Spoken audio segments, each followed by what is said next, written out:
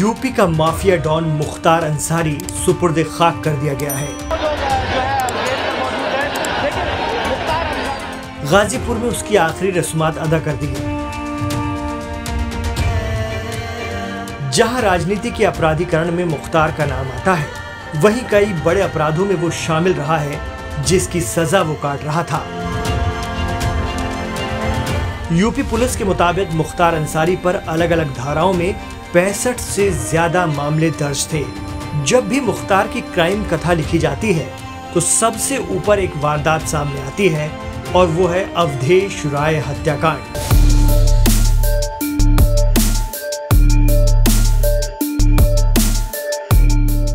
तैतीस साल पहले हुए इस हत्याकांड ने यूपी को हिलाकर रख दिया था। ये वारदात वाराणसी के चेतनागंज थाने के लहुरा पीर इलाके में हुई थी। तीन अगस्त का वो दिन था और साल था उन्नीस सौ इक्यानवे। तीन अगस्त की रात को उस वक्त के तेज तर्रार कांग्रेस नेता अवधेश राय अपने भाई अजय के साथ घर के बाहर खड़े थे। दोनों भाइयों में किसी बात को लेकर चर्चा चल रही थी कि तभी एक तेज रफ्तार वैन वहाँ आई। वैन से बदमाश उतरे और अवधेश राय पर ताबड़तोड़ फायरिंग कर दी। फायरिंग इतनी ज़बरदस्त थी कि अवधेश राय को संभलने का मौका तक नहीं मिला और उनकी मौके पर ही मौत हो गई। इस वारदात में मुख्य आरोपी की पहचान मुख्तार अंसारी के तौर पर हुई थी। मृतक अवधेश राय के भाई अजय ने जो एफआईआर दर्ज करवाई, उसमें मुख्तार अंसारी पर इस कत्ल का इल्ज़ाम लगाया गया। बताया जाता है कि उस दौर में वाराणसी की चंदासी कोयला मंडी में मुख्तार अंसारी वसूली का काम करता था। वो वहाँ से अच्छा खासा पैसा कमाता था। लेकिन कांग्रेस के अवधेश राय भी एक दबंग नेता थे और मुख्तार के कट्टर दुश्मन ब्रजेश सिंह के करीबी भी थे।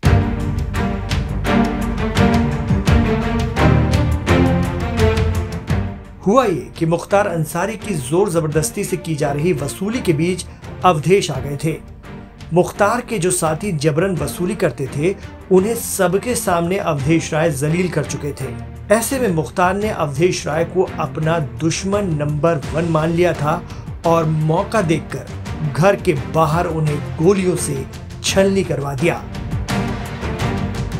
उस मामले में कानूनी कार्रवाई और केस चलने के बाद मुख्तार अंसारी दोषी पाया गया और उम्र कैद की सजा हुई थी। स्वर्गीय अवधेश राय के भाई अजय राय अब यूपी कांग्रेस के प्रदेश अध्यक्ष हैं। वो भी अपने भाई की तरह तेज तर्रार और जुझारू हैं। जेल में मुख्तार की मौत के बाद जब अजय राय से उनकी प्रतिक्रिया पूछी गई तो उनका कहना था कि कोर्ट से हमें जो उम्मीद थी, हमें वो न्याय मिला। हम सबके साथ कोर्ट ने जस्टिस किया। मैं कोर्ट का आभारी हूँ।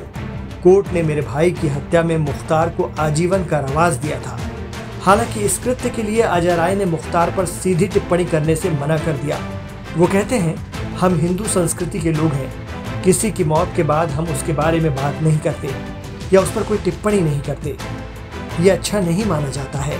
न्यायपालिका ने हम सबको न्याय दिया, हम सबके साथ न्यायपालिका ने जस्टिस किया।